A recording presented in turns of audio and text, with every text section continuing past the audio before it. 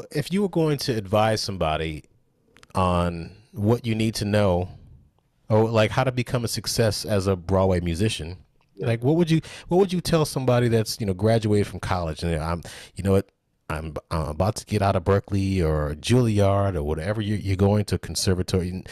Uh, was it? That's not North North Texas State anymore. It's University of North Texas. These drummers that come out of there, man, I'm moving to New York. Yeah.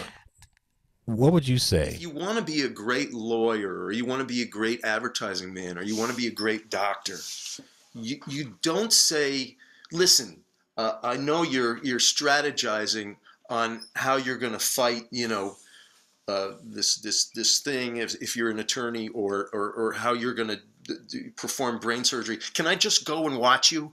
No, you know what? Take lessons, maybe. Study with people. Go to shows. Take off, off, off Broadway gigs. Get in any conductible situation you possibly can so you can figure that out.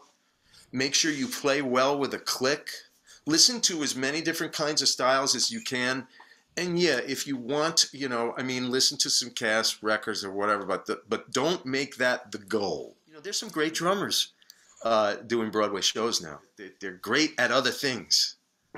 They're not. They they, they you know, people want them because they're great drummers, not because they're great show drummers right? So my advice is to be as well-rounded and as great a musician as you can possibly be become. You'll be more attractive to any gig, including shows.